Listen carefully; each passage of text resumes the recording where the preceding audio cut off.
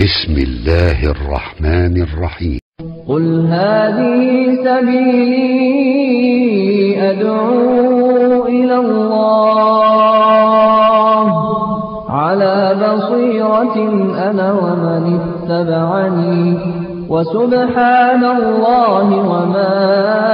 أنا من المشركين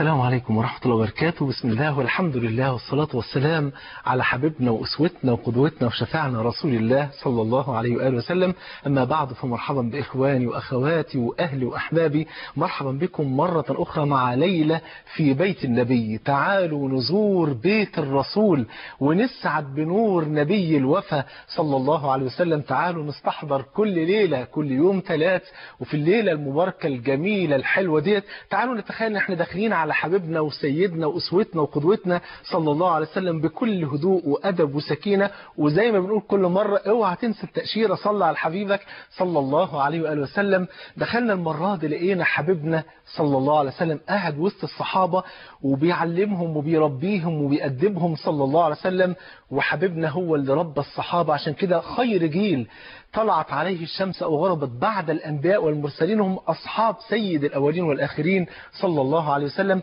قاعد بيعلمهم كل خير في أمور الدنيا والآخرة والدين صلى الله عليه وسلم وفجأة لقوه بيقول لهم كلمة جميلة قوي قال لهم صلى الله عليه وسلم من صلى الصبح في جماعة فهو في ذمة الله الصحابة قاعدين مستغربين يعني ايه في ذمة الله يعني في عهد الله وأمانه وحمايته وحفظه وكلاءته سبحانه وتعالى انت في حماية ربنا أنت في حفظ الله سبحانه وتعالى برضه لسه الموضوع يعني إيه يعني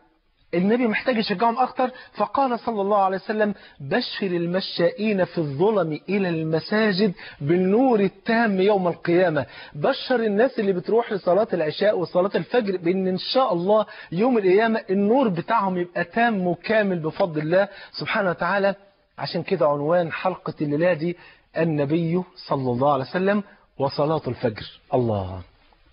أنا بعتبر صلاة الفجر مشروع لإعادة الوعي للأمة ولإعادة النصر والتمكين للأمة مرة أخرى صلاة الفجر بداية النصر دي حقيقة بجد والله العظيم ولذلك كان أحد اليهود لما كان بيتكلم مع بعض علماء المسلمين فبيقول له, بيقول له يعني إحنا آه، نعلم أن نبيكم صلى الله عليه وسلم قال لا تقوم الساعة حتى يقاتل المسلمون اليهود فيقتلهم المسلمون فيجري اليهودي فيختبئ وراء الشجر وراء الحجر فينطق الله الشجر والحجر الحجر والشجر هينطقوا هيتكلموا إكراما ليك يا عبد الله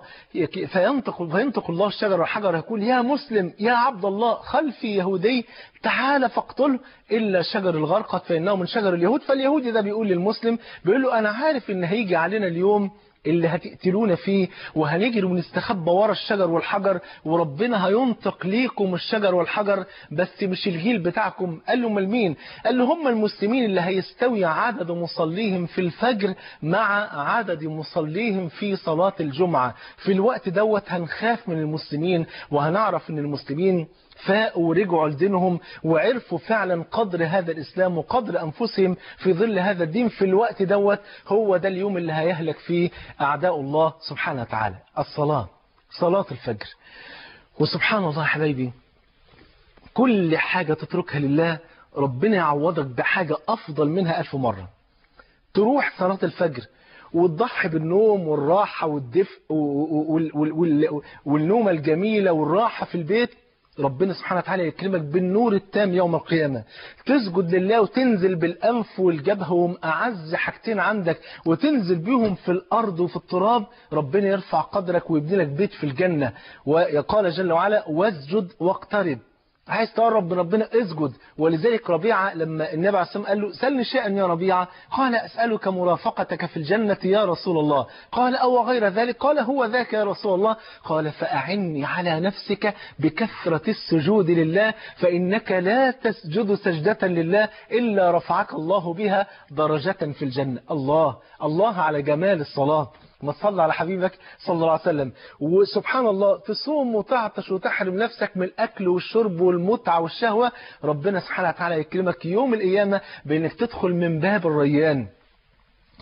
تفرج عن مسلم كربة من كرب الدنيا يفرج الله عنك كربة من كرب يوم القيامة تغض بصرك عن النظر إلى النساء ربنا يكرمك يوم القيامة بلذة النظر إلى وجهه الكريم سبحانه وتعالى وجوه يومئذ ناظرة إيه السبب إلى ربها ناظرة للذين أحسنوا الحسنى وزيادة فالحسنى هي الجنة والزيادة هي النظر إلى وجه رب الجنة سبحانه وتعالى حبايبي وروح قلبي وبحب المسلمين وبتقرب إلى الله بحب كل مسلم على وجه الأرض هي صلاة الفجر صعبة واحد يقول اه بجد صعبة اقول لك لا هي مش صعبة واكبر دليل على كده ان المولى عز وجل قال لا يكلف الله نفسا الا وسعها وربنا فرض علينا الصلوات الخمس الرجال لازم يصلوا في المسجد إلا إذا كان هناك عذر شرعي فهذا جائز أن يصلي في البيت والنساء ليهم أن هم يصلوا في المسجد لكن لا يفرض عليهم ولا يجب عليهم الصلاة في المسجد فيجوز لهم يصلوا في البيت بل صلاتهم في البيت أفضل من صلاتهم في المسجد سبحان الله فكون ان ربنا يوجب عليك انك تصلي الصلوات الخمسة ومن ضمنها طبعا صلاة الفجر انك تصليهم في المسجد فمعنى كده ان ربنا ميسر لك الامر وانه ليسير على من يسره الله عز وجل عليه واستعينوا بالصبر والصلاة وانها لكبيرة الا على الخاشعين فاذا المسألة ما هيش صعبة وبعدين انت لما تنظر إلى إلى نشاط أهل الدنيا وهمتهم العالية في كسب أمور الدنيا تقول الله ده من باب أولى بقى إن أنا كراجل طالب آخرة وطالب جنة يكون نشاطي أكتر منهم وإحنا في أمريكا كنا نروح نصلي الفجر حوالي الساعة 4 4 ونص مش متذكر التوقيت بالظبط فكنا نخرج من الصلاة نلاقي الأمريكان طالعين في نشاط لا يخطر على قلب بشر الكل طالع رايح شغله وبعدين قبل ما يروح شغله كنا بنشوف منظر عجيب جدا كنا بعد ما بنصلي الفجر كنا بنحب نتمشى كده نشم شوية هواء ونلاقي الأمريكان كتير منهم بيلعب رياضة ويلف التراكات الموجودة في الميادين العامة علشان يتنفس هواء كده جميل ونقي وعشان ينشط للعمل ويروح شغله من الساعة 8 أو 7 أو 6 حسب ظروف شغله لحد الساعة 4 في نشاط وفي همة عجيبة جدا لحد ما يجي نهاية الأسبوع الويك إند بتاعه ويقضي الويك إند ويتمتع متع الدنيا كلها فبيخلص في شغله قوي وبيخلص في ان هو يتمتع باجازته قوي وبيدي كل حاجه حقها على التمام والكمال الا ان هم طبعا ما اعطوش حق ربنا لان لسه ما اسلموش فلو اسلموا لعرفوا قدر الله سبحانه وتعالى الشاهد في الموضوع ان الواحد كان بينظر لهمه اهل الدنيا يقول سبحان الله من باب اولى بقى ان المسلمين ينشطوا لصلاه الفجر واحيانا تلاقي ناس كتيره جدا حتى من المسلمين اللي عايشين في بلاد الاسلام تلاقي ما شاء الله عنده نشاط وهمه عجيبه جدا ليه شغال هو ساكن في محافظه وشغلته في محافظه ثانيه فبيطلع بدري جدا ممكن يكون قبل الفجر كمان بنص ساعه وطالع ومتكلفت في عز البرد وعز الشتاء عشان رايح يلحق شغله ويلحق الامضه قبل ما الدفتر يتقفل مع ان في دفتر تاني اهم من الدفتر دوت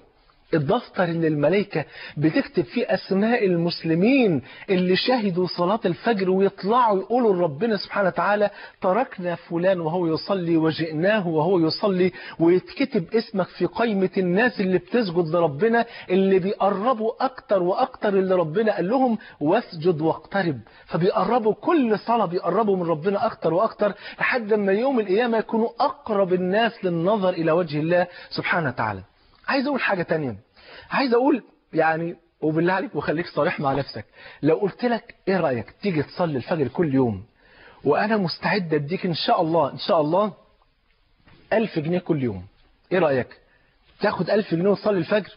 قول لي يا شيخ محمود انت بتهزر 1000 جنيه وصلاه فجر و... واقسم بالله ده انا ب 5 جنيه وطبق كشري اصلي الفجر وقيام ليل يعني واخد بالك واخلص الموضوع كله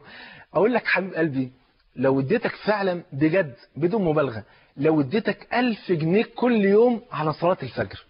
فجينا عدينا السنه لقينا 365 يوم فاديتك في ال 365 يوم 365 ألف جنيه وفي آخر السنة ربنا قدر إنك تموت تحب تنزل القبر وانت تملك 365 ألف جنيه ولا تنزل القبر وانت تمتلك 365 صلاة فجر وقفت فيها بين يدي الله سبحانه وتعالى شفت قد ايه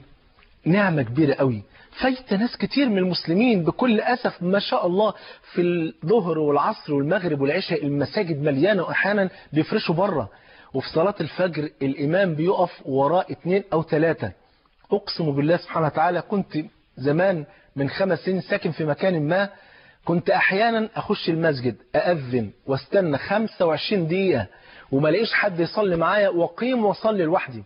صلاة الفجر وأحيانا كان واحد يصلي معايا وأحيانا كنت أطلع في الشارع كده وأي واحد واقف أقول له بالله عليك تعالى صلي معايا طب تاخد أي حاجة وتصلي معايا يعني أي حاجة بس إيه بس تخش تصلي معايا عشان أدرك الجماعة تخيل حضرتك لما مسجد كامل ما فيهوش غير واحد أو اتنين بيصلوا الفجر حاجة حاجة حاجة تحزن عشان كده بقول صلاة الفجر هي بداية النصر اللي ما بيصليش الفجر بيأخر الأمة خطوة في طريق النصر صلي الفجر عشان ربنا يجلب النصر للأمة كلها ربنا يجمعنا وإياكم على الخير دائما قول لي أنت كده بصراحة يا شيخ محمود سخنتنا بقى عايزين بقى نعرف بقى افتح الكتالوج قول لنا فضائل وثمرات وحلويات صلاة الفجر علشان نصلي الفجر بقى ونحافظ عليه من النهارده عهد أمام ربنا سبحانه وتعالى هنواعد بعض أمام الله وربنا شاهد علينا سبحانه وتعالى يا رب من عهدك يا رب من اللي نادي إن شاء الله كل اللي قاعدين قدامي إخوة وأخوات نساء ورجال وأطفال وصبيان والكل إن شاء الله هنصلي الفجر من الليل وهندعي لكم وهندعي لكم القلب والله في الثلث الاخير من الليل ان كل اللي شايف الحلقه ديت وهيصلي الفجر ويواظب عليها والله بندعي له بنقول يا رب كل اللي هيبدا يصلي الفجر من الليله دي يا رب اجمعه مع حبيبنا صلى الله عليه وسلم في الفردوس الاعلى يا رب العالمين قولوا امين اللهم امين يا رب العالمين فضائل صلاه الفجر عايز اقول لحضرتك حاجه لو ما كانش لصلاه الفجر اي فضيله في الدنيا سوى انها قربه بنتقرب بها الى حبيبنا سبحانه وتعالى وهل هناك أحب إلى قلوبنا من الله اللي خلقنا ورزقنا وأكرمنا وأسبغ علينا نعمه ظاهرة وباطنة وإن تعدوا نعمة الله لا تحصوها والله ما نقدر نعد نعم ربنا وفضل ربنا على من نعم ربنا وأما بنعمة ربك فحدث والله يا إخوة أنا في السكة بقالي ثلاث ساعات بحاول أوصل لكم من زحام الطريق ثلاث ساعات ولسه واصل من دقايق قبل الحلقة وبقول يا رب طول السكه يا رب ده رزقهم يا رب يا رب يسر يا رب بس اوصل عشان اقول لهم صلاه الفجر عشان نصلي الفجر يا رب عشان الناس دي تسجد لك يا رب وتخش بيتك يا رب وتقف بين ايديك يا رب لعل وعسى يمكن ترحمهم بالصلاه دي وسبحان الله وبعد ما خلاص بتصل باخويا شريف بقول له مش هعرف اجي يقدر ربنا في نفس اللحظه الطريق فتح وتتيسر من عنده وعند حسن ظن بالله تخيلوا كان السر في ايه والله العظيم هتستغربوا اوعوا تقولوا بقى الشيخ متدروش ولا والله العظيم كان السر في اني طول السكه بكتر من حاجتين استغفار وصلاة على النبي صلى الله عليه وسلم لأن النبي قال لأبي بن كعب لما قال له يا رسول الله كم أجعل لك من صلاتي قال آه، آه، الربع فإن شئت فإن زدت فهو خير لك لحد ما في الآخر خالص قال له أبي قال له أجعلها كلها صلاة عليك يا رسول الله قال له إذا يكفيك الله همك ويغفر لك ذنبك فكان هم كبير بالنسبة لي عايز أوصل لكم عايز ألتقي بيكم ما بحبش أتحرم أبدا من لقاء الثلاث ليلة في بيت النبي بحس ببركة النبي في البرنامج فكان ربنا ميسر ميسر فضلت مقفولة مقفولة واتفتحت مرة واحدة عشان نصلي الفجر إن شاء الله فلو ما كانش في أي ثمرة لصلاة الفجر سوى إن هي قربة بنتقرب بها إلى الله لكن كفاية ان احنا نحافظ عليها بفضل الله سبحانه وتعالى وربنا سبحانه وتعالى يعني يعني اقول ايه يعني ربنا سبحانه وتعالى امرنا بالصلاة الخمس لكن اعطى اهتمام خاص جدا لصلاة الفجر تعالوا نشوف ربنا بيقول ايه ربنا بيقول اقم الصلاة لدلوك الشمس الى غسق الليل دلوك الشمس صلاة الظهر الى غسق الليل صلاة العشاء وقرآن الفجر إن قرآن الفجر كان مشهودا يبقى دلوك الشمس إلى غسق الليل خدت كم صلاة أربعة ظهر عصر مغرب عشاء اختصرها كلها في كلمة دلوك الشمس إلى غسق الليل وراح أفرض صلاة الفجر لوحدها وقال إيه وقرآن الفجر إن قرآن الفجر كان مشهودا تشهده الملائكة وسمى صلاة الفجر بقرآن الفجر لأنه يستحب في صلاة الفجر أن الإمام يطول شوية في القراءة ولكن حط تحتها 1500 خط إذا كانت حالة المأمومين تتحمل ذلك وإلا فالأصل هو التخفيف لنص حديث النبي ما تصلى عليه صلى الله عليه وسلم كما عند البخاري ومسلم من أم بالناس فليخفف فإن فيهم الضعيف والكبير والمريض وذا الحاجة فإذا صلى لنفسه فليطول ما شاء يبقى إذا أخوي وحبيبي يبقى إذا صلاة الفجر لها مكانة خاصة جدا عند ربنا حبيبنا سبحانه وتعالى علشان كده كان واجب علينا ان احنا نحافظ على الصلوات كلها وخصوصا صلاة الفجر يبقى أول حاجة لما فتحنا الكتالوج عشان نشوف ثمرات وجمال صلاة الفجر أول حاجة إن صلاة الفجر قربة إلى الله تعالوا نكمل ونفتح الكتالوج ونشوف الخيرات اللي مستنيانا وهتسمع كلام ربما تكون بتسمعه لأول مرة هتسمع كلام جميل بجد بس صلى على حبيبك نلتقي بعد الفاصل صلى على حبيبك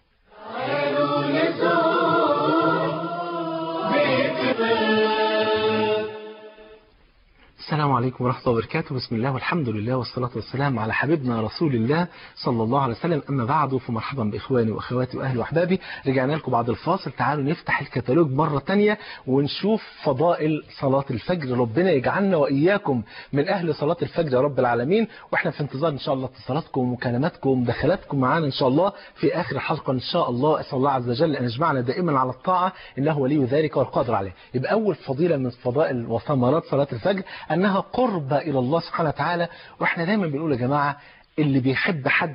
لازم يعمل الحاجة اللي هو بيحبها ربك سبحانه وتعالى أولى اهتماما عجيبا بصلاة الفجر ليه احنا ما نهتمش بصلاة الفجر ونحافظ عليها حبا لله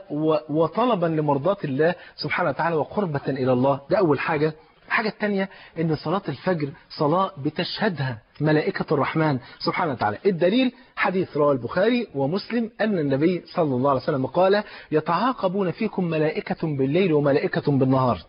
ويجتمعون في صلاة الصبح وصلاة العصر خد بالك يعني هي ورديات ورديات الملائكة يا جماعة من صلاة الفجر لصلاة العصر دي وردية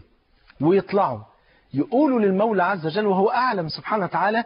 لقينا فلان بيعمل كذا وفلان بيعمل كذا من الفجر إلى العصر ويجي الوردية التانية من العصر للفجر ويطلعوا الفجر والتانيين يجوا إيه مكانهم وهكذا ورديات يتعاقبون فيكم ملائكة بالليل وملائكة بالنهار ثم يجتمعون في صلاة الصبح وصلاة العصر ثم يعرج الذين باتوا فيكم فيسألهم ربهم وهو أعلم بهم كيف تركتم عبادي فيقولون تركناهم وهم يصلون وأتيناهم وهم يصلون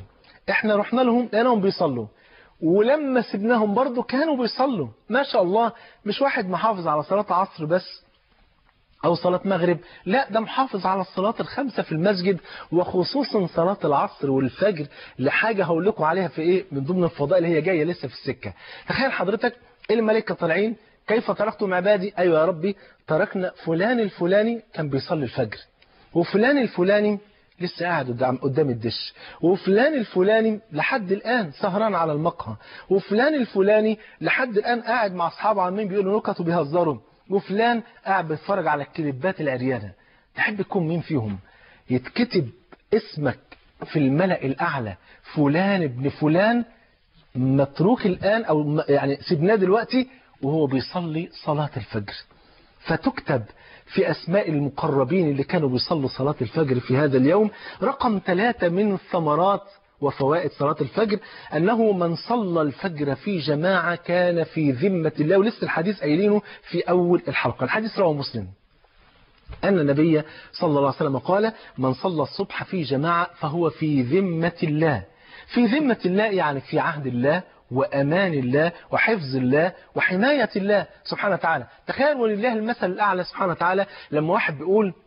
أنا يعني ما بخافش من أي حاجة لأن أنا في حماية فلان بيه أو فلان باشا أو الوزير الفلاني أو الرئيس الفلاني أو رئيس الوزراء الفلاني ده أنا مسنود سندة وزي ما بيقولوا اللي ليه ظهر ما يضربش على بطنه سبحان الله تخيل بقى ولله المثل الأعلى إن أنت لما تصلي الصبح في جماعة وحضرتك لما تصلي الصبح في جماعة أنتوا في اليوم دوت أنتم في حماية الله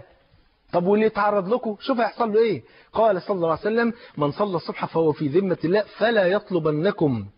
فلا يطلبنكم الله من من ذمته بشيء فإنه من يطلبه من ذمته بشيء يدركه ثم يكبه على وجهه في نار جهنم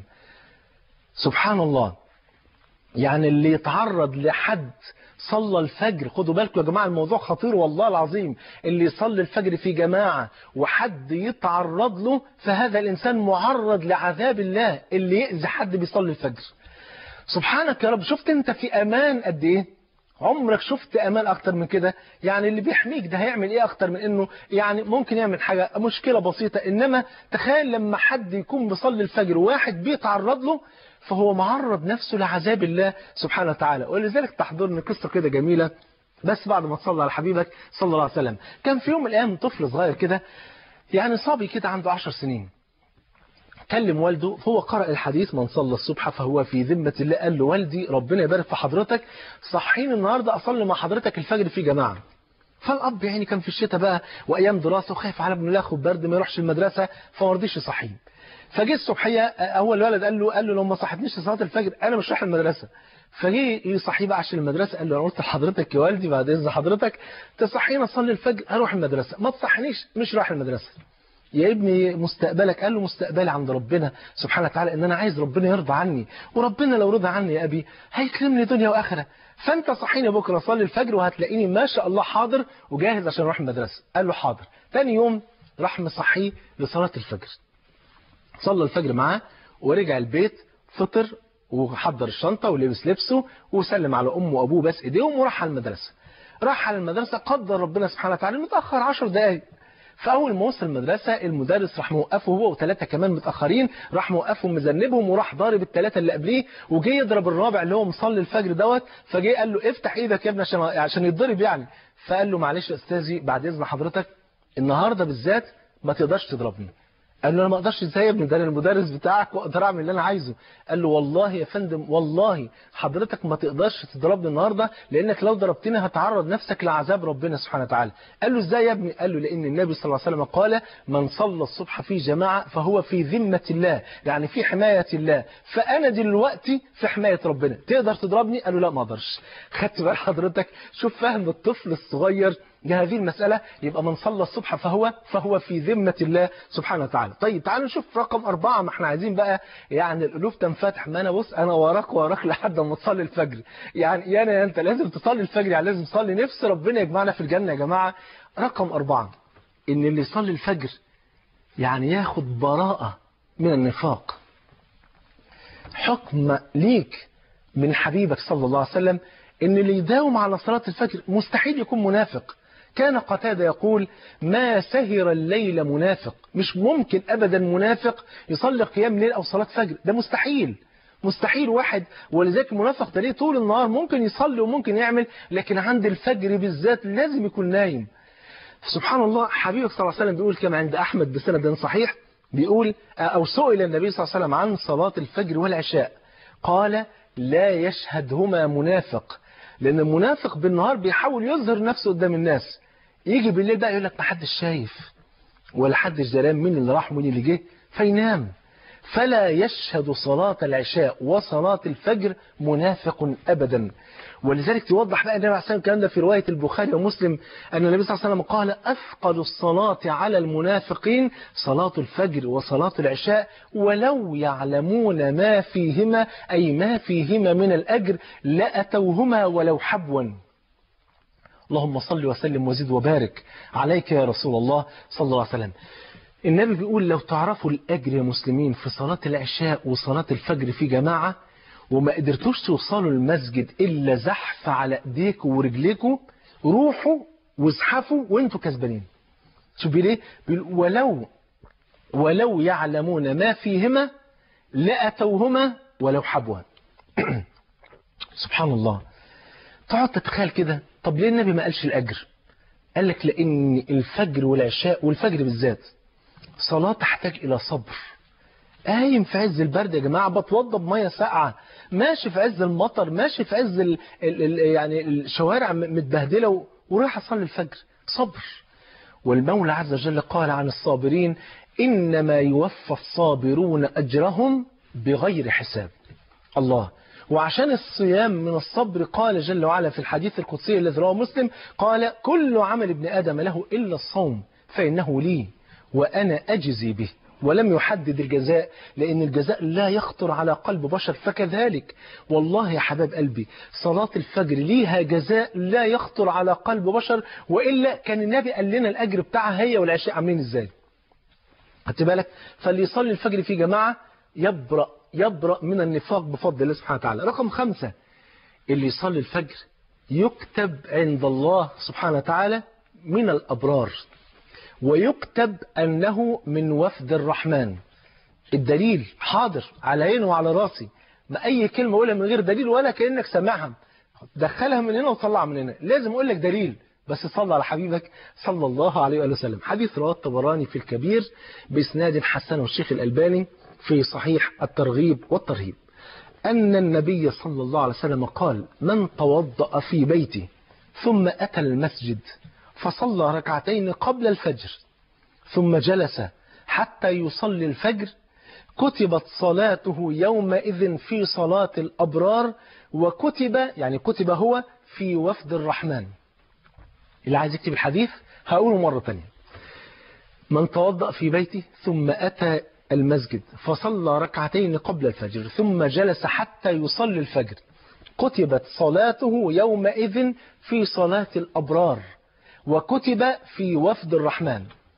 الأبرار فين الأبرار فين وهم مين هم الأبرار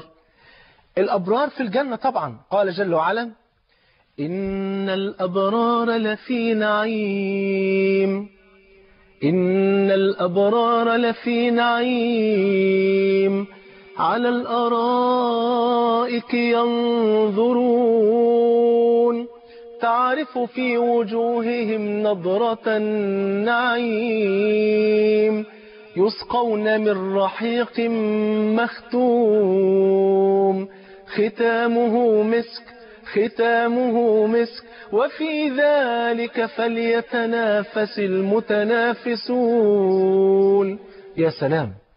يبقى الأبرار في نعيم ربنا يجعلنا وإياكم من أهل النعيم يا رب العالمين طيب وفد الرحمن وفد الرحمن اللي لما يخشوا الجنة يوم القيامة لا يمكن يخشوا الجنة إلا هم راكبين على مراكب من النور مين اللي قال الكلام ده الحافظ ابن كثير رحمه الله قال والوفد هم الذين يقدمون على الله يوم الحشر يركبون على مراكب من النور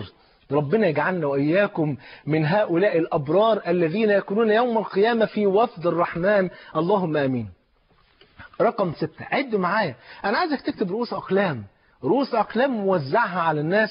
واقول لهم يا جماعة صلاة الفجر ابوس ايديكم صلاة الفجر صلاة الفجر بداية النصر الامة صلاة الفجر بداية العودة للعزة مرة تانية صلاة الفجر قرب الى الله صلاة الفجر هتخلينا في وفد الابرار صلاة الفجر هتخلينا في وفد الرحمن صلاة الفجر صلاة الفجر ربنا يجعلنا وإياكم من أهل صلاة الفجر وقيام الليل وإن شاء الله لينا حلقة إن شاء الله عن النبي وقيام الليل ونشوف النبي كان بيصلي قيام الليل إزاي ونشوف أمرنا بقيام الليل إزاي صلى الله عليه وسلم رقم ستة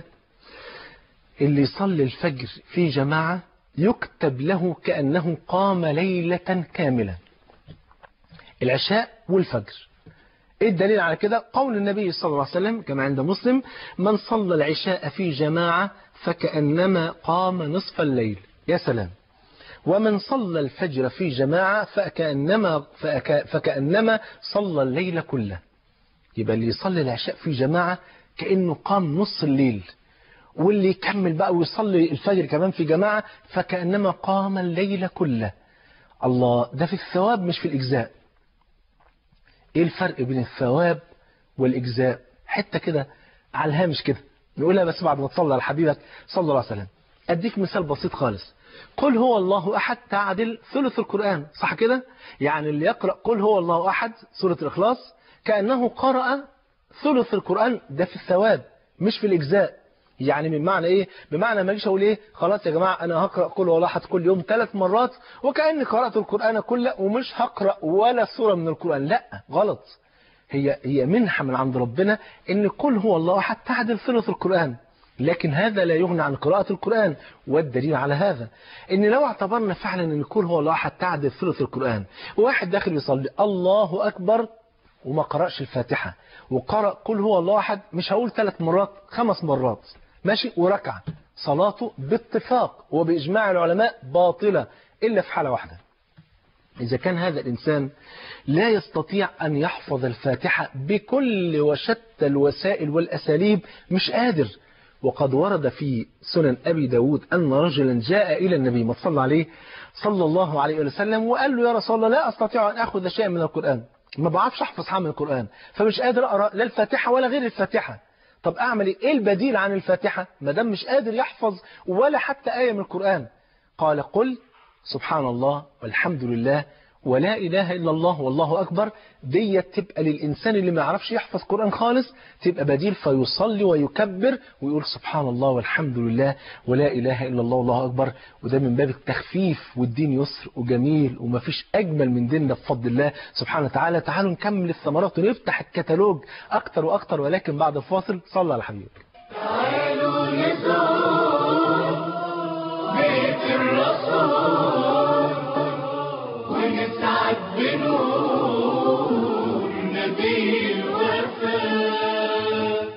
السلام عليكم ورحمة الله وبركاته بسم الله والحمد لله والصلاة والسلام على رسول الله صلى الله عليه وسلم رجعنا لكم بعد الفاصل وده الفاصل الأخير اللي بعديه على طول إن شاء الله نتلقى اتصالاتكم ونسعد بسماع صوتكم إن شاء الله بفضل الله سبحانه وتعالى قلنا رقم ستة إن اللي صلى الفجر في جماعة كتب له قيام ليلة كاملة قلنا في الثواب وليس في الإجزاء وسبحان الله في حديث جميل قوي رواه الإمام مالك بسند صحيح إن عمر بن الخطاب في يوم من الأيام آه، آه، في صلاة الفجر فقد واحد اسمه سليمان ابن أبي حفمة ما جاش صلاة صلى الفجر عمر بن الخطاب في اليوم دوت خارج من المسجد ورايح آه، السوق فمر على بيت سليمان فلقى والدته الشفاء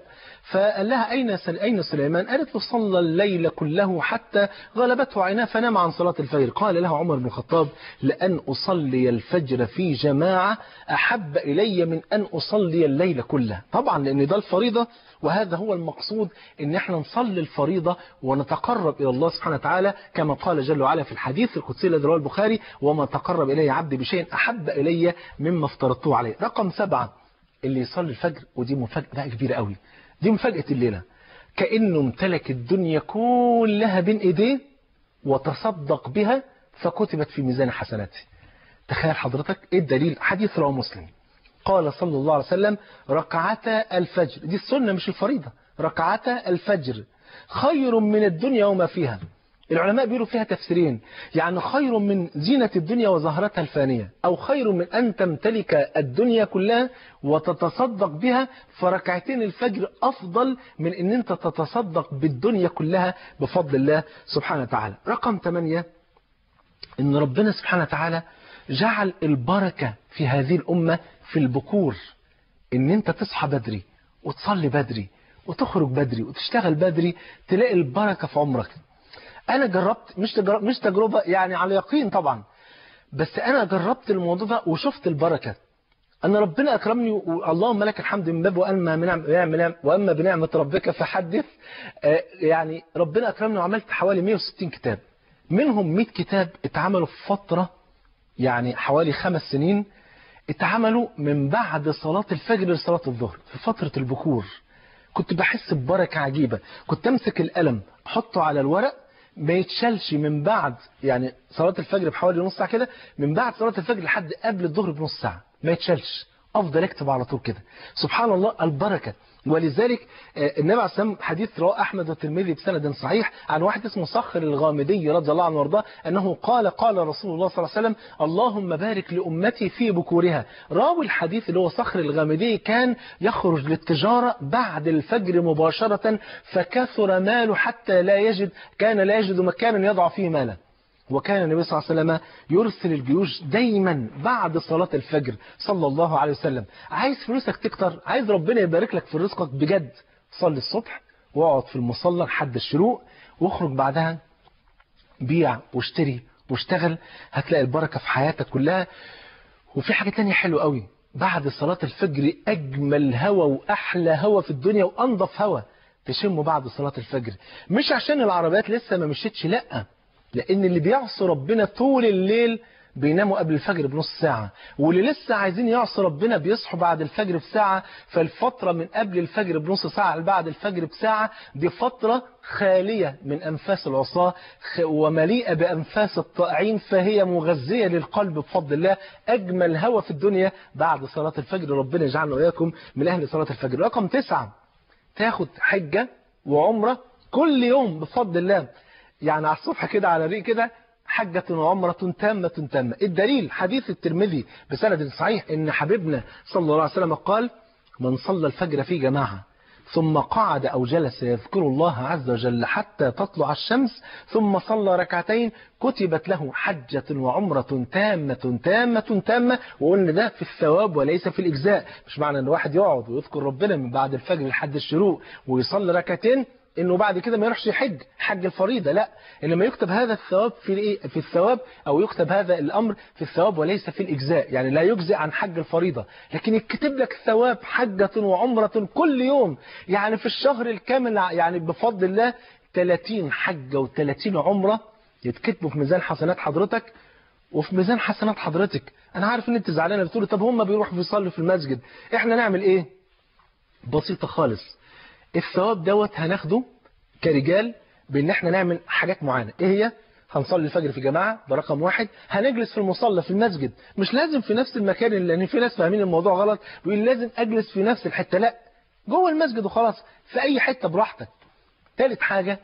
يذكر الله مش هنقعد بقى نحكي حكايات وحواديت ونكت لحد الشروق ونقوم نصلي ركعتين والحجه وعمره لا كل سنة وحضرتك طيب لا ده أنت تذكر ربنا سبحانه وتعالى تقول أذكار الصباح خلص أذكار الصباح وفي وقت اقعد اقرا القرآن استغفر صلى على حبيبك النبي صلى الله عليه وسلم يقول من صلى علي عشرا حين يصبح وعشرا حين يمسي أدركته شفاعتي يوم القيامة صلى الله عليه وآله وسلم يبقى إذا هتذكر ربنا وبعد الشروق بعد الشروق اقرا على النتيجة كده تلاقي مثلا الشروق مثلا الساعة 5 يبقى 5 وثلث صلي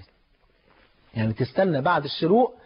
ثلث ساعة وتصلي ركعتين ألف مبروك حجة وعمرة تامة تامة طب والنساء هيصلوا في البيت آه هيصلوا في البيت في جماعة ماشي تصلي مع أختك مع والدتك مع بنتك مع آه، أي حد من النساء معاك في البيت صلي معاهم في جماعة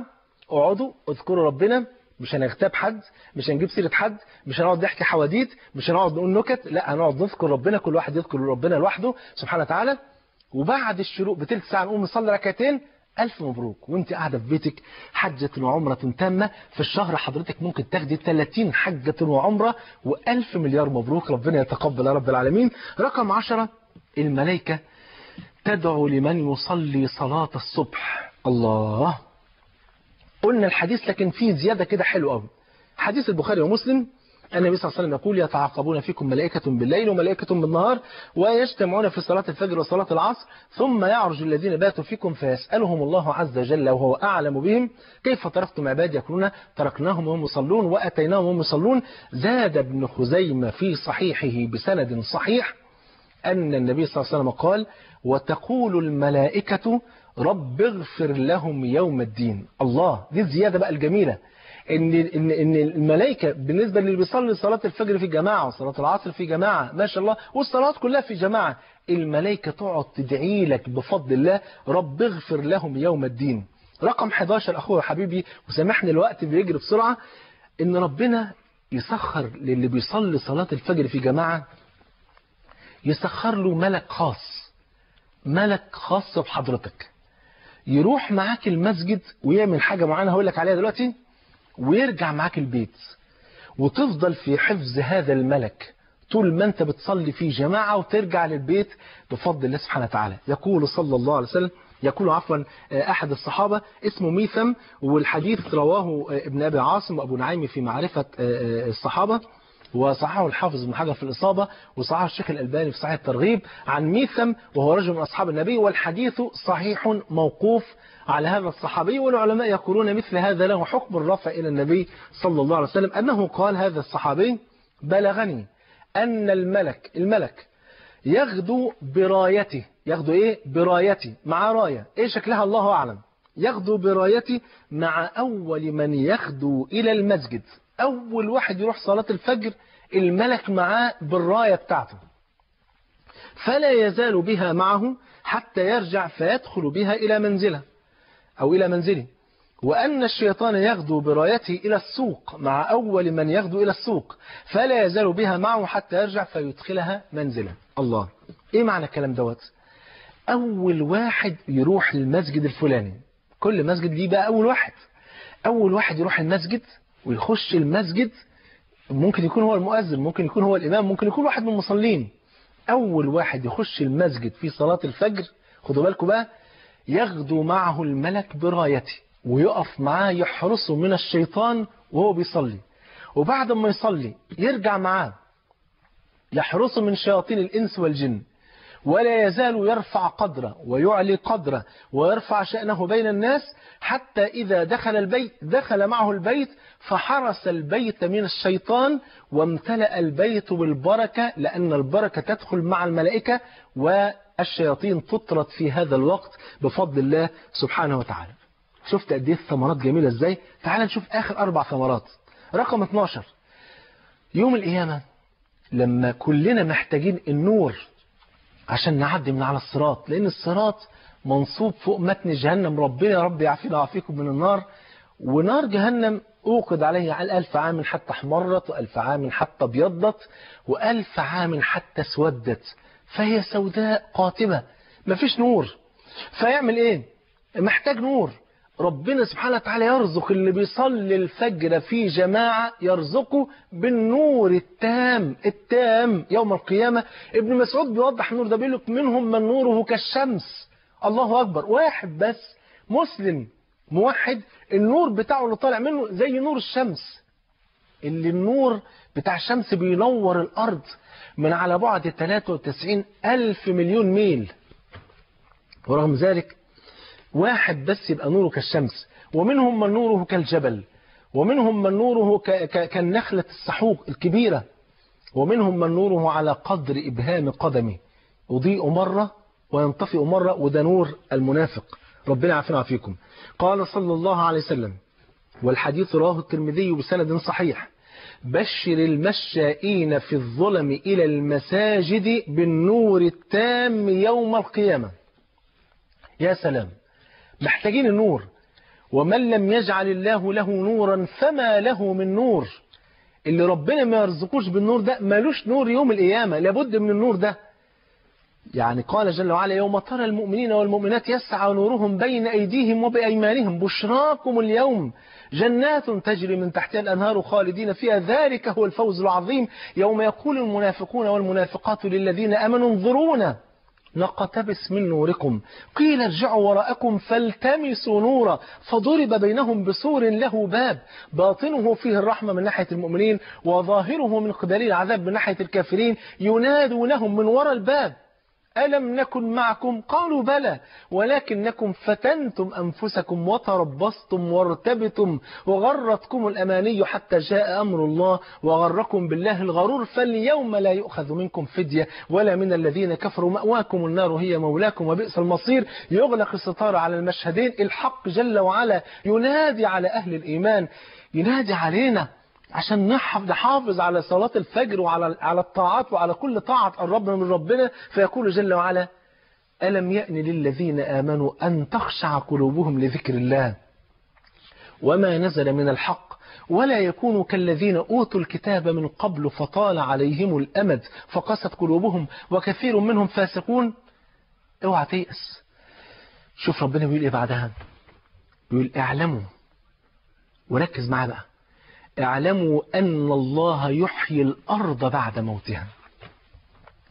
يلي قلبك مرض بسبب ترك صلاة الفجر ويلي قلبك تعب بسبب البعد عن ربنا ويلي قلبك مات من كتر المعاصي ما تيأس قل يا عبادي الذين أسرفوا على أنفسهم لا تقنطوا من رحمة الله إن الله يغفر الذنوب جميعا إنه هو الغفور الرحيم قادر ربنا زي ما بيحيي الأرض بعد موتها يحيي قلبك بعد موته أو يشفي قلبك من مرضه وتقوم قوم للهادي هادي نصلي الفجر إن شاء الله نتوعد أمامك يا رب بين يديك يا رب إن شاء الله الكل يصلي الفجر للهادي إن شاء الله يبقى رقم 12 ربنا يعطيك النور التام يوم القيامة رقم 13 أمان من عذاب الله تأمن من عذاب الله بفضل الله سبحانه وتعالى النبي صلى الله عليه وسلم يقول كما عند مسلم لن يلج النار ما حدش هيدخلها أبدا لن يلج النار أحد صلى قبل طلوع الشمس وقبل غروبها يعني صلاة الصبح وصلاة العصر ولذلك تأتي الفضيلة التي بعدها رقم 14 عهد بدخول الجنة لمن يصلي الفجر والعصر قال صلى الله عليه وسلم كما في البخاري ومسلم من صلى البردين البردين اللي هم العصر والفجر من صلى البردين دخل الجنة آخر حاجة قبل ما نخش على الفاصل رقم 15 من فضائل صلاة الفجر إنك ممكن تفوز بأعظم وأجل نعمة يا رب ما تحرمنا من النعمة دي يا رب يا رب يا رب نعمة كبيرة يا رب ما تحرمنا منها لذة النظر إلى وجه الله سبحانه وتعالى الإمام ابن القيم بيقول والله ما تلذذ أهل الجنة بنعيم أعظم من النظر إلى وجه الرب الرحيم وما تعذب أهل النار بعذاب أشد من حجبهم عن رؤية وجه الرب الكريم قال جل وعلا عن المؤمنين وجوه يومئذ ناظرة إلى ربها ناظرة وقال عن أهل الجحيم كلا إنهم عن ربهم يومئذ لمحجوبون حبيبنا صلى الله عليه وسلم قال كما عند البخاري ومسلم إنكم سترون ربكم كما ترون هذا القمر لا تضامون في رؤيته فإن استطعتم ألا تغلبوا على صلاة قبل طلوع الشمس وقبل غروبها فافعلوا اللي هي صلاة الفجر والعصر الله ولذلك تجد حرص السلف على صلاة الفجر شيء عجيب شيء عجيب عمر بن الخطاب عمر بن الخطاب رضي الله عنه وارضاه يقتل وهو بيصلي صلاة الفجر علي بن ابي طالب يقتل وهو بيصحي الناس لصلاه الفجر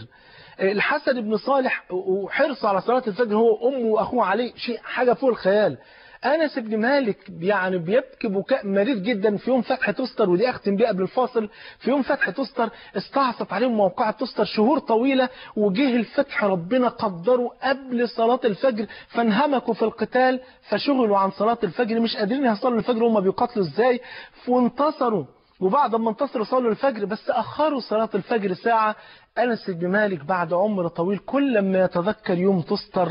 يقول مالي ولتستر أضاعت علي صلاة الفجر يوم واحد فجر واحد في عمر أنس بن مالك بيبكي إن فات صلاة الفجر وإحنا لما نبكي بقى النهاردة على اللي فاتوا صلاة الفجر 20 و30 سنة نعمل ايه ان شاء الله عهد نرجع نصلي الفجر ان شاء الله نلتقي بكم ونسعد بسماع صوتكم ولكن بعد الفاصل صلى على حبيبك تعالوا نزور بيت الرسول ونسعد بنور نبي الوفاء ونسعد بنور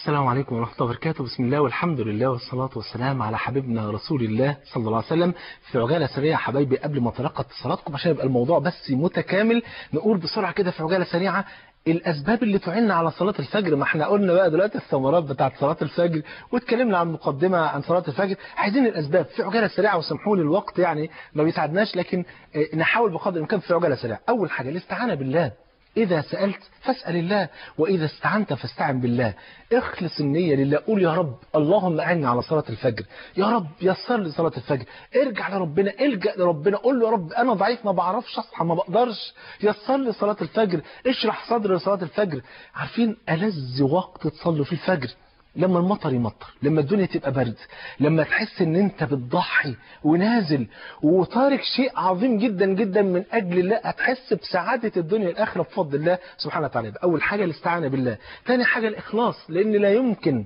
حد يصلي الفجر إلا إذا كان فعلا إنسان أخلص النية لله فربنا يسره أن يكون من أهل صلاة الفجر اللي أنا بعتبرهم صفوة المجتمع بفضل الله سبحانه وتعالى رقم ثلاثة العزيمة الصادقة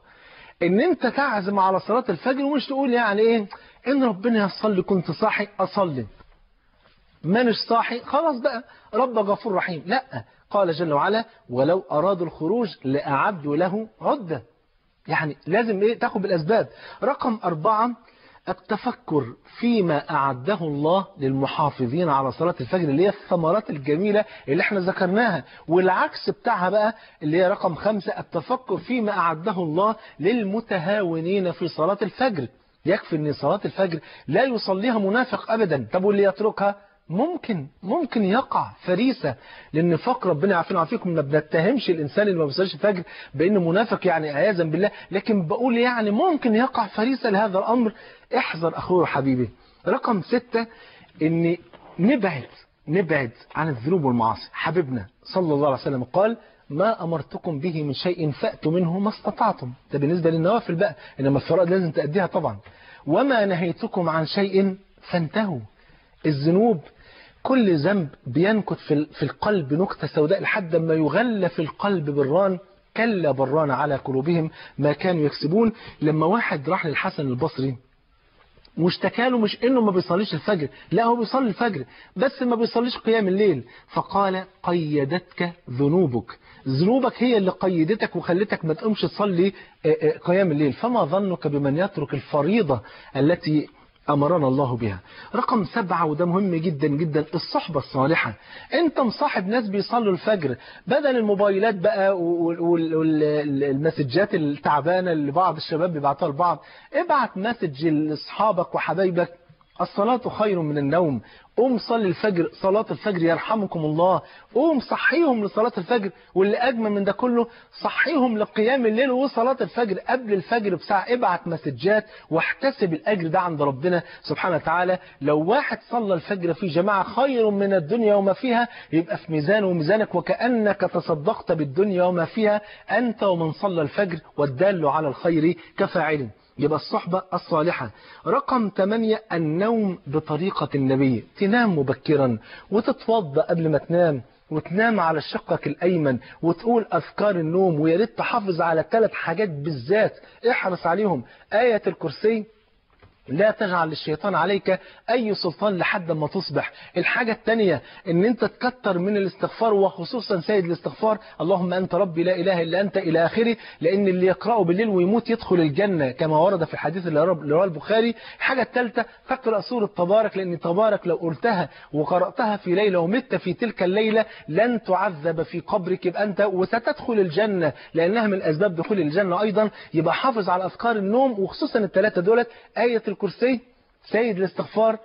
سورة تبارك رقم تسعة التخفف من الطعام والشراب لانك لو كلت كتير قوي قبل ما تنام في ناس متعوده قبل ما تنام يعني ما شاء الله بتحضر سفره زي الفل ويدبها دبه تمام لحد ما يوصل اكل هنا ينام مش شايف قدامه حاجه طول ما هو نايم كوابيس وعمال يخبط في اولاده ويخبط في زوجته وتلاقي كلهم على الارض يعني حاجات كده عجيبه جدا واكل ما شاء الله ومظبط الدنيا ده لا هيسمع اذان ولا يسمع فجر ولو سمع الظهر يبقى كل سنه وحضرتك طيب تمام كده يبقى خفف من الاكل والشرب وحتى طبيا حتى الاطباء بيقولوا ان الواحد لما ينام عشاء خفيف كده كوبايه زبادي وسندوتش صغير كده آه، آه، بجبنه نست ولا حاجه ونام او كوبايه زبادي وكوبايه عصير ونام انما ما تقعدش تاكل اكله دسمه قبل ما تنام لان هتكتم على نفسك وهت يعني هتضيع عليك صلاه الفجر رقم 10 ودي الاخيره الاخذ بالاسباب منبه حطه جنبك بس مش جنب السرير على طول لا يعني بعيد عنك واول ما تسمع صوت لان انت لو حطيته جنبك مباشره وانت نايم غصب عنك اول ما يرن هتقوم ايه موقفه وهتنام لا خليه بعيد واصحى اول ما تسمع الجرس اصحى اقفل المنبه وما ترجعش للسرير تاني خش على طول مباشره على الحوض اغسل وشك استعذ بالله سبحانه وتعالى اذكر ربنا سبحانه وتعالى حبيبنا صلى الله عليه وسلم قال يعقد الشيطان على مؤخرة رأس أحدكم كل ليلة ثلاث عقد يقول عليك ليل طويل فارقد فإذا قام العبد فذكر الله انحلت عقدة فإذا توضأ انحلت الثانية فإذا صلى انحلت عقده كلها فأصبح طيب النفس نشيطا وإلا وأصبح خبيث النفس كسلانا دي كانت يعني في عجالة سريعة كده الأسباب التي تعين على صلاة الفجر ومعانا الاتصالات أم ياسمين من مصر السلام عليكم ورحمة الله وبركاته عليكم السلام ورحمة الله وبركاته أهلا وسهلا ازي حضرتك يا شيخ أهلا بحضرتك أنا اتصلت بحضرتك قبل كده لما كنت بقول لحضرتك على الشيخ اللي كلمني اللي كلمته وانتحل شخصيتك نعم. وقال لي إن أنا الشيخ محمود مش نعم. عارف حضرتك فاكر ولا آه، إيه؟ أه فاكر طبعا ربنا يبارك فيك آه ربنا يخليك آه، اولا حضرتك بالنسبه لصلاه الفجر انا والله انا يعني شويه اواظب عليها وشويه لا نعم وبس والله ربنا يشهد ان من ساعه ما حضرتك بدات الحلقه آه، ظبطت التليفون بتاعي على ميعاد صلاه الفجر الله يبارك فيك وقلت زي ما حضرتك اتعهد كده وربنا يقضاني ان شاء الله على كده ربنا يكرمك ام ياسمين جزاكم الله خيرا واحنا عايزين بقى كده يعني كل اللي يتصل كده عهد امام ربنا يا جماعه صلاه الفجر انا والله الذي لا اله غيره لولا ضيق الوقت ولولا لأن أنا مش عايز أسبب لكم أي ملل بأن أخلي الدرس ده أو صلاة الفجر مر حلقة على حلقتين لكنت ذكرت لكم والله فضائل أكتر من كده كمان صلاة الفجر فيها فضائل والله لا تخطر على قلب بشر بالدنيا واللي فيها والله العظيم أنا عايز أقول لكم حاجة أنا لو لا قدر الله مثلا كل خمس ست شهور لو لا قدر الله فاتني صلاة فجر ما بخرجش من بيتنا لأني في اليوم ده أنا بشعر إن إن السماء هتقع عليا فجميل قوي صلاة الفجر فربنا يبارك فيكم ياسمين جزاكم الله خيرا يعني الدل على الخير كفاعل ان حضرتك أنا بس بعد اذن حضرتك انا نفسي اعرف يعني حضرتك بتلك الدروس بتاعتك في انهي مسجد انا بعت آه. رساله لحضرتك آه، نعم. على التليفون يعني الموبايل اسالك بس ما ربنا يبارك فيك بس يعني لو ينفع آه، تقول لي حضرتك حاضر عينيا حاضر يا ان شاء الله نخبركم ان شاء الله يعني الدروس الفتره الجايه ان شاء الله هتكون في انهي مسجد ان شاء الله حاضر عينيا حاضر الأخت رجاء السلام عليكم السلام عليكم ورحمة الله وبركاته عليكم السلام ورحمة الله وبركاته جزاك الله خيرا والله يا شيخ الله يبارك في حضرتك بارك الله فيك ربنا يعزك يا رب أنا طول عمري ملتزمة بصلاة الحمد لله والفجر وكل الصلوات يعني والصيام وعلى طول ما شاء الله بس أنا دائما يعني وبجاهد نفسي دائما للحق إن شاء الله نعم ما شاء الله وبحفظ قرآن وبحفظ قرآن برضه ربنا يتقبل يا رب بس أنا دائما خايفة ومرعوبة مرعوبة مرعوبة من القبر ومن ظلمة القبر من عذاب نعم. القبر وبستعيذ ربنا دائما يعني منهم على فكرة دي دي دي دي علامة يعني علامة صحية ان المؤمن يا جماعة يعمل ويخاف والمنافق لا يعمل ويرجو يعني المؤمن دايما يعمل خير ويعمل طاعة وهو خايف من ربنا ومشفق ومنظر القبر الحقيقة هو يعني منظر مؤثر سيدنا عثمان بن عفان كما عند الترمذي بإسناد حسن كان إذا آه، رأى القبر أو ذكر القبر أمامه كان يبكي وإذا ذكر أمامه الجنة أو النار كان لا يبكي فلما سألوا عن ذلك قال أما إني سمعت رسول الله صلى الله عليه وسلم يقول القبر أول منازل الآخرة فإن نجا منه العبد فما بعده أيسر وإن لم ينج منه العبد فما بعده أشد ربنا يحفظنا ويحفظكم يا رب العالمين من معنا الشريف طيب آه، فعايز أقول يا جماعة ان ربنا سبحانه وتعالى بيمكن للأمة دي بصلاة الفجر شوف ربنا سبحانه وتعالى لما تكلم عن صفات أهل التمكين قال الذين إن مكناهم في الأرض أول حاجة أقاموا الصلاة وآتوا الزكاة وأمروا بالمعروف ونهوا عن المنكر ولله عاقبة الأمور والنبي صلى الله عليه وسلم كان يقول إن إذا نزلنا بساحة قوم فساء صباح المنذرين وكان لا يرسل صلاة إلا في الصباح شوفوا قد إيه بركة الصبح وبركة صلاة الفجر إن بعد صلاة الفجر كانت الغزوات تبدأ ما كانتش تبدأ في أي وقت تاني بعد صلاة الفجر مباشرة وربنا سبحانه وتعالى لما أقسم بالخيول التي تجاهد في سبيل الله طب تاخد الاتصال ده الأول أخ محمود السلام عليكم السلام عليكم عليكم السلام ورحمة الله وبركاته ازيك يا شيخنا يا أهلا وسهلا بحضرتك من فضل حضرتك في ثلاث أوقات نعم المكروه فيهم الصلاة نعم طيب الوقت بعد صلاة الصبح مفهوم وبعد صلاة العصر مفهوم أما وقت الظهيرة كان بالظبط نعم وينتهي امتى حاضر حاضر هو هو الوقت الاول اخويا يا استاذ محمود الوقت الاول من بعد صلاه الفجر لحد بعد الشروق بثلث ساعه ده الوقت الاولاني اللي فيه نهي عن الصلاه والوقت الثاني قبل صلاه الظهر بحوالي ربع ساعه لحد صلاه الظهر والوقت الثالث من العصر الى المغرب لكن الوقت دوت ايه النهي فينا نهي عن ايه نهي عن مطلق التنفل واضح يا جماعه عن ان انا هتنفل انما لو كانت في صلاه فريضه فاتتني يجوز أصلها في أوقات النهي يجوز لو صلوات ذوات السبب ذوات الأسباب زي صلاة الجنازة زي صلاة ال ال ال يعني تدعوت آه، اللهم صل على صلاة الجنازة صلاة تحية المسجد أنا داخل المسجد فبصلي حتى في أوقات النهي أخش وأصلي واضح كده فهي أوقات النهي عن التنفل عن مطلق التنفل وليست وقت نهي عن آه، صلاة فريضة لو كانت فاتتني الفريضة طيب الأخ عبد القادر السلام عليكم الله وبركاته عليكم السلام ورحمة الله وبركاته الله يخليك ربنا يكرمك إن شاء الله ربنا يحفظك يا رب العالمين أه والله أنا لا يكثر من ست شهور سبع شهور هنا بالسعودية معلش الصوت مش واضح يا أخ عبد القادر بقول لك لا يكثر من سبع شهور هنا بالسعودية يعني. آه فكل مرة شغلانة كده أرجع منها يعني بتعقد منها وبرجع انا معلش ربنا يحفظك يا استاذ عبد القادر انا الحقيقه معلش يا شريف مش سامع مش سامع السؤال الصوت مش واضح عندي آه، السؤال اللي حضرتك آه، شيخ محمود ايوه أه بقول لك ان انا لي سبع شهور هنا في السعوديه آه، طب السؤال ايه يا استاذ عبد القادر السؤال السؤال ان انا متضايق يعني ومفروض كم وراك شغلانه كده برجع منها يعني. عشان ما بتصليش الفجر يعني ايه طيب حاضر هقول لك حاضر يا استاذ عبد القادر آه، عايزين نقول عبد القادر الأول بس آه، آه، ربنا سبحانه وتعالى بيقول ايه والذين جاهدوا فينا لنهدينهم سبلنا جاهد نفسك كده ومرة بعد مرة مرة الأولانية تصحى بعد فجر بربع ساعة المرة الثانية على أذان الفجر اللي بعدها تقوم ومصلي قيام الليل مين معانا استاذ شريف؟ استاذ شريف مين معانا؟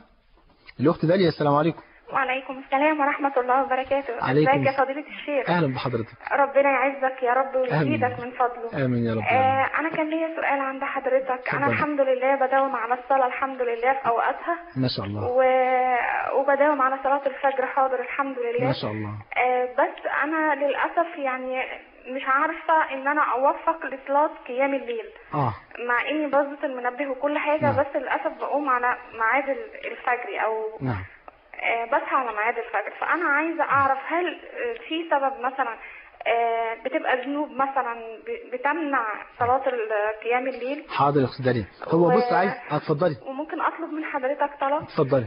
انا عايزه رقم موبايل بتاع حضرتك لاني ليا شويه استفسارات ثانيه طيب. يطول ذكرها يعني اكثر طيب كنترول ان شاء الله يدي لحضرتك اختي داليا ربنا يبارك فيكي هو هو عموما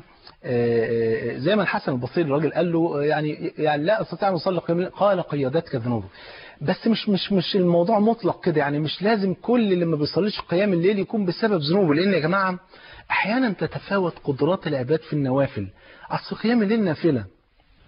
في واحد بيلاقي قلبه قوي قوي في الصيام وما بيصليش قيام الليل بس بيصلي الفجر يعني الفرائض دي مفروغ منها هنصليها هنصليها انا بتكلم عن النوافل في واحد بيلاقي قلبه في الصيام وما لاقاش في قيام الليل وفي واحد تاني يلاقي قلبه في قيام الليل وما لاقوش في الصيام النوافل يعني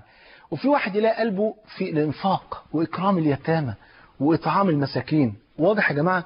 كل واحد ربنا اداه المفتاح عشان يخش بالجنه اما ان انا آه، صلاه الفجر اللي هو موضوعنا النهارده ده لازم نحافظ عليه والذين جاهدوا فينا وهفضل اقول الايه لاخر الحلقه والذين جاهدوا فينا لنهدينهم سبلنا الأخت داليا من مصر برضه السلام عليكم أيوة عليكم السلام ازي حضرتك عليكم السلام لو كنت أهلا وسهلا انا بحض... أه، والله بجد انا اتعلمت من حضرتك أه، حاجات كتيره قوي أه، انا من اول رمضان لغايه دلوقتي انا يعني بصلي الفجر الحمد لله وبصحي اهل البيت وكده ما شاء الله فكان مش عارفه ده بخصوص الحلقه ممكن اسالك عن حاجه اتفضلي كانت بتحصل لي في رمضان كان بيجي لي وسوسه كده مش عارفه لدرجه ان الواحد استغفر الله العظيم يعني مش عايزه اقول شرك او كفر بس ما نعم. بتطلعش من لساني بس هي كانت نعم. في قلبي بس لدرجه ان انا كنت ببكي ان انا الحاجه دي جوايا ما كنتش اعرف ايه حلها يعني نعم. انا عايزه عايزه ارد كده هل ربنا سبحانه وتعالى يجازيني على الحاجه دي قصدي يعاقبني يعني ولا انا بصراحه ما بقدرش ان انا ان انا يعني اقول لا انا ولا عمري هقولها بالثاني بس بزعل احسن جامد قوي نعم هو مش الحمد مش لله انا إيه؟ مواظبه على القران الحمد لله كل يوم بقرا وكل وحضرتك محضره ورقه وقلم وكل يوم بكتب اللي حضرتك بتقول عليه يعني كل حاجه حضرتك آه، اتعلمت منك حاجات كتير قوي بجد يعني آه، عن آه، عن الفجر والصلاه في اوقاتها وبعض برضه يعني ذكر ربنا سبحانه وتعالى يعني حاجات كتير وحضرتك انا عايزه بس ايه يعني تشوف السؤال اللي انا حضرتك قلت قلته لحضرتك يعني حاضر عينيا يا اختي داليا هو طيب هرجع لحاجة ماشي حاضر آه، الأخت داليا ربنا يحفظك آه، مثل هذه الأمور الوساوس التي تأتي التي يقذفها الشيطان في قلب العبد ما لم نتكلم العبد لا يؤاخذ العبد على مثل هذه الأشياء خصوصا أن دي أمور قد تأتي إلى الإنسان رغم رغم أنفه الشيطان يقذف في قلب الإنسان فكرة معينة أو حاجة معينة والإنسان لم يتكلم بها فعلينا أن احنا نستعيذ بالله من الشيطان الرجيم ونكثر من الاستغفار فقد يدخل إلينا الشيطان بسبب تقصير معين أو بسبب ذنب معين نكثر من الاستغفار ونكثر من الاستعاذة بالله من الشيطان الرجيم ربنا يحفظنا ويكون الأخ محمد السلام عليكم السلام عليكم عليكم السلام ورحمة الله وبركاته أنا بحبك الله يا شيخ أحبك الله زحتري فيه ربنا يخليك سؤالك يا شيخ ولا آه اللهم صل على النبي عليه الصلاه والسلام آه، آه، هل الشيطان بيشكك في عبوديتك لله؟ بيشكك في ايه؟ في عبوديتك لله نعم اه دي وظيفته دي شغلته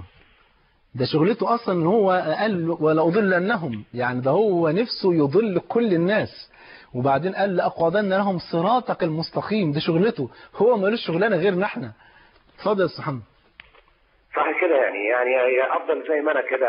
بايماني بالله سبحانه وتعالى نعم. واي حاجه بقى هو يوسوس لي فيها نعم. انا آه، اعمل عكسها على طول. انا عايز اقول حاجه صغيره خالص يا جماعه آه، احنا يمكن عملنا في رمضان هنا على قناه اقرا آه، برنامج كامل اللي هو برنامج المصارع والحمد لله صدر بعد ذلك مجلد المصارع ذكرنا فيه كل المعلومات اللي نفسكم تعرفوها عن عالم الشيطان على عالم الجن والشياطين وازاي ان احنا بقى نقي انفسنا ذكرنا 35 حصن بفضل الله نقدر نتحصن بيه من الشيطان في هذا الكتاب نقدر نتحصن ازاي من الشيطان لأن هو ده العدو بتاعنا إن الشيطان لكم عدو فاتخذوه عدوا ده كلام ربنا سبحانه وتعالى اللي خلقنا وخلقه هو ربنا سبحانه وتعالى خلق الشيطان وخلقنا كمسلمين فبيقول لنا خدوا بالكم ده عدوكم إن الشيطان لكم عدو فاتخذوه عدوا العباسي من الجزائر السلام عليكم السلام عليكم يا شيخ عليكم السلام ورحمة الله وبركاته شهادة لله بأن حقيقة صلاة الفجر نعم. عندما نصلي الفجر آه، لنا نهار آه، آه، زي وعندما لا نصلي الفجر لنا نهار آخر مختلف عن النهار الله. الذي نصلي فيه الفجر أي أيوة والله شهادة لله والله صدقت صدقت السؤال هو عن الدعاء الفجر الدعاء نعم. والفجر من آه، فضلك رايك يا شيخنا ونشكرك شكرا جزيلا ربنا يبارك في حضرتك عباس ربنا يحفظك ويسترك آه، فعلا كلامه مظبوط 100% ان فعلا يوم ما بنصلي الفجر في جماعه اليوم حاجه روعه روعه قمه في الجمال كل حاجه متيسره الدنيا منوره الدنيا مزهزهه واليوم اللي فاتنا فيه صلاه الفجر بيبقى يوم اعوذ بالله صعب قوي قوي بجد والله العظيم لدرجة اني انا اذكر يعني ان ان مره صلاه صلاه الفجر الحمد لله اللهم لك الحمد يعني احنا ما نفس بس الحمد لله نادرا ان الواحد يفوت صلاه الفجر بالذات لكن لما كان الواحد يفوت صلاه الفجر كان بيبقى اليوم ده فيه شويه ابتلاءات حاجه كده مشكله يعني من اللي قلبك يحبها فصلاه الفجر بتنور حياتك ويومك انت في حفظ الله ام عبد الرحمن السلام عليكم وعليكم السلام ورحمه الله وبركاته الله يبارك فيك ربنا يعزك يا رب جزاك الله خير لو سمحت انا كنت عايزه اسال ان انا غصب عني وظروفي كده ان ولادي بيسهروني فببقى بصحى وظيفتي بصحى اصلي الفجر وبصحى بس مش قادره اقوم فما بقومش نعم وبرضه بقيت اخر برضه بيتعبوني طول النهار بطلباتهم نعم. انا ما كنتش كده بس بعد كده بقيت كده يعني مش مبسوطه ان انا كده يعني كده حرام ولا انا كده بقى انا هقول لك حاجه يا ام عبد الرحمن والله ربنا يبارك لي في عمرك يا رب ويحفظك ويجازيك عنا كل خير على السؤال الحلو ده انت اثرت نقطه حلوه قوي الامهات اللي معاهم بيبيهات صغيره وبيسهروهم يا عين الله يكون في العون يعني بنشوف طبعا يعني الواحد بيشوف مثلا زوجته لما بتسهر على الطفل الصغير ده او الطفل الصغيره حاجه صعبه قوي قوي الام شبه ما بتنامش ما بتشوفش النوم خالص فممكن الطفل يسهرها لحد الساعه 3 بالليل وهي من طول اليوم شغل في البيت وتعب ومشقة جامدة فيعني تيجي قبل الفجر بنص ساعة ممكن تنام والطفل على حجرها حتى كمان بس هي طب, طب هي فبتصحى مثلا الساعة 7 8 وما صلتش الفجر دي تعمل ايه نصيحتي لكل أم عندها بيبي صغير طفل صغير ان لما لما حتى الطفل يسهرها وتنام قبل الفجر غصب عنها تنام قبل الفجر بساعة ولا نص ساعة تنام وفي نيتها إنها تقوم تصلي الفجر فلو قامت صلت الفجر جزاها الله خيرا ولو ما قامتش يتكتب لها كأنها صلت الفجر في جماعة حاضرة بفضل الله سبحانه وتعالى وده من فضل ربنا من, يعني من نام وهو ينوي قيام الليل فغلبته عيناه كتب له قيام ليلته وكان نومه صدقة تصدق الله بها عليه الله أكبر شفت فضل ربنا وشفت ديننا جميل ازاي دكتور وائل السلام عليكم السلام ورحمة الله وبركاته عليكم السلام ورحمة الله وبركاته أستاذنا العزيز أخبار حضرتك ربنا يحفظك ويسترك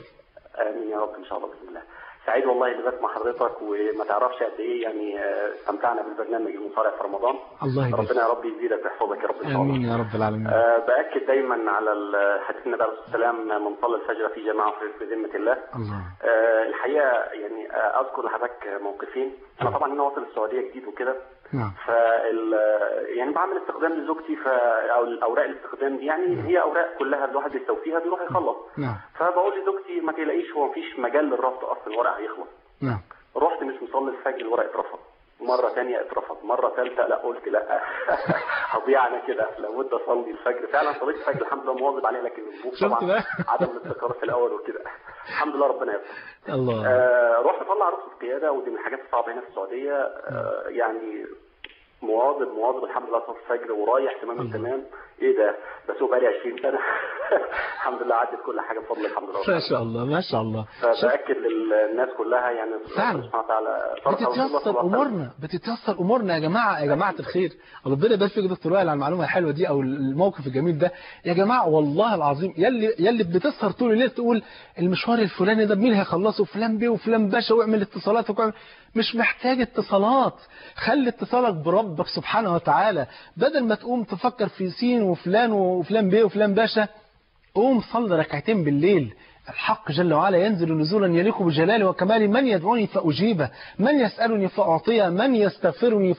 فأغفر له إلى أن يطلع الصبح قوم صل الصبح فأنت في ذمة الله يبقى ربنا استجاب دعائك في الثلث الأخير من الليل وأنت في حفظ الله وفي أمان الله واللهم بارك لأمتي في بكورها وانت خارج وربنا بيكرمك والملك بيعلي قدرك بين الناس إلى غير ذلك فانت ربنا ميسر لك امورك بصلاه الفجر تلاقي الدنيا مشرقه ولذلك النبي اخبر ان الراجل ده اللي, بيقوم ويذكر ربنا ويتوضا ويصلي قال إيه فأصبح طيب النفس نشيطا وإلا لو ما عملش كده وقام يصلي وإلا أصبح خبيث النفس كسلانا أنت بص تقف على محطة الأتوبيس عمال بينفخ عامل يعني مش عارف أقول لك إزاي لو حد عمل له كده يقوم يتخانق معاه ويعمل معاه مشاكل اما بقى اللي مصلي الفجر ومصلي قيام الليل وشه منور الله اكبر لو حد عمل ايه معاه يقول الله يسامحك يا اخي سبحان الله مين معانا يا استاذ علي السلام عليكم السلام ورحمه الله وبركاته عليكم السلام ورحمه الله وبركاته ازي حضرتك يا اهلا وسهلا وقف التلفزيون واسمعني من التليفون ماشي حاضر يا فندم ربنا يبارك معاك استفسار من حضرتك آه، حضرة الشيخ اتفضل لو سمحت انا كنت بصلي الفجر آه، في جماعه في الجامع فنزل عليا نور نور من المولى عز وجل كده لقيت نور نازل عليك؟ اه نور امم طب طب وطي التلفزيون عشان اسمعك ايوه ايوه فعلا طيب. الحمد لله فالواحد يعني ماشي خلاص فالواحد يعني عيونه دمها كده من الفرحه ومن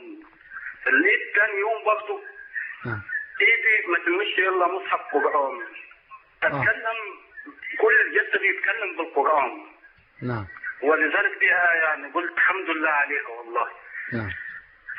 ربنا يبارك فيك يا حاج يعني دائما ربنا يعلى قدر السعي الكلام واضح اللي عايز اقول لك حاجه آه، آه، ان آه، احساس الانسان ان هو بيصلي فبيلاقي نور نازل عليه وحاجات كده طبعا احنا لا ننكر لا ننكر وجود الكرامات الى غير ذلك لكن لما حد يحصل له حاجه لو حد حصل له حاجه بالمنظر ده نور نزل عليه مش عارف شاف ايه لا يحدث بها الناس عشان الحاجه ديت ممكن يحسد عليها يحسد لو قال فلان ما شاء الله شاف كذا أو حصل له كذا إلى غير ذلك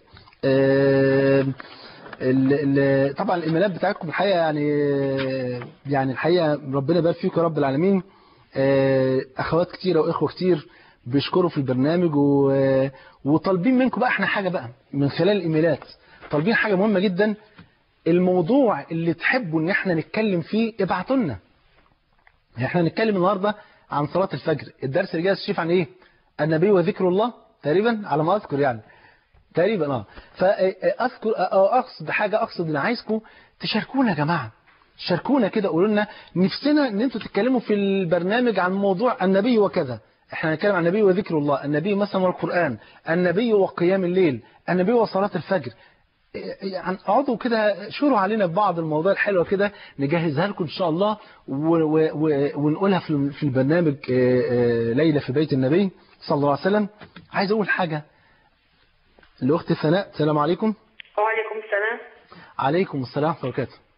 مع الشيخ الشيخ يعني مع حضرتك ان شاء الله آه، والله نحن نحبك في الله في المغرب يعني كلنا يعني ربنا يحفظك واحنا بنحب اهل المغرب عاوز اسالك يا حضره الشيخ يعني عن قيام الليل هل يبتدي من آه يبتدي تسمعني يا شيخ اه اه نعم سامع حضرتك يعني قيام الليل هل يبتدي من بعد صلاة العشاء اه نعم ولا يبتدي. عنده وقت محدد يعني أنا إن شاء الله الله هو... يتقبل بعد صلاة آمين. العشاء يعني آمين يا رب. بصلي آه، آه، يعني ركع بصلي يعني نعم آه، هل هو محسوب من قيام الليل ولا وقت قيام الليل عنده هذا السؤال واضح حاضر يا فعاوز اسالك سؤال ثاني من فضلك حضرة الشيخ حاضر انا بعرف مؤمن بيصلي وبيقرا قران وكل شيء ولكن عنده حاجه يعني بيدخن نعم هل صلاته مقبوله طيب وقيامه مقبول ولا لا حاضر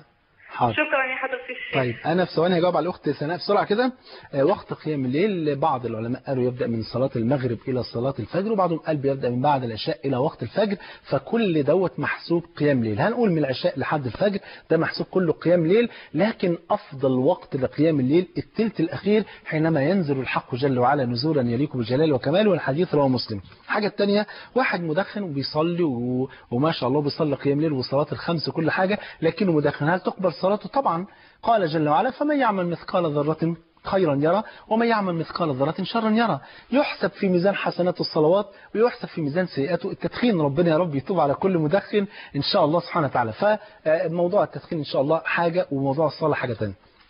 آخر تليفون مدام رضا السلام عليكم عليكم السلام ورحمة الله وبركاته عليكم السلام ورحمة الله وبركاته ازي حضرتك اتفضلي أهلا وسهلا أخت رضا ربنا يخليك وب... وكتر من امثالك يا رب ويبارك في حضرتك الله يبارك في حضرتك ويعزك يا رب آه نفسي تدعي تدعي يعني تدعي للمسلمين و... نعم. يعني خاصه عيال اخويا اخواتي نعم و... و... وانا يعني آه عايزه اقول لك حاجه بس صدق. آه كل ما